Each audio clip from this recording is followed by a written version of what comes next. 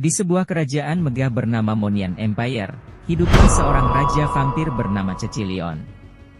Kekuatan dan keabadiannya dikenal oleh seluruh kerajaan, namun hanya satu hal yang membuat hatinya berdebar, seorang manusia bernama Charmila. Cinta mereka begitu dalam, meskipun berasal dari dunia yang berbeda.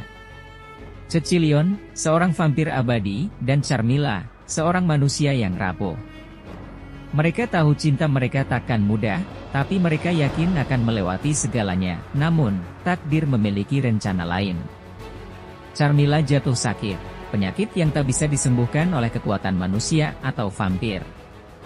Cecilion tak sanggup melihat wanita yang dicintainya perlahan-lahan meredup, dengan keputusasaan, Cecilion berusaha menemukan cara untuk menyelamatkan Charmila. Dia menemukan satu cara terakhir, namun dengan risiko besar, mengubah Charmilla menjadi vampir dengan meminum darahnya, aku takkan kehilanganmu, Charmilla. Aku akan melakukan apa pun untuk membuatmu tetap bersamaku, dengan darah Cecilion, Charmilla terbangun kembali, bukan sebagai manusia, tetapi sebagai vampir.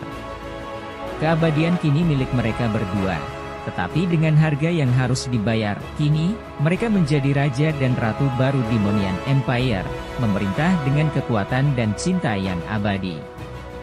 Meskipun kisah mereka dimulai dengan kesedihan, cinta mereka telah melampaui batas kehidupan dan kematian, inilah kisah cinta abadi Cecilion dan Charmilla, yang mengajarkan kita bahwa cinta sejati takkan pernah pudar, bahkan dalam keabadian.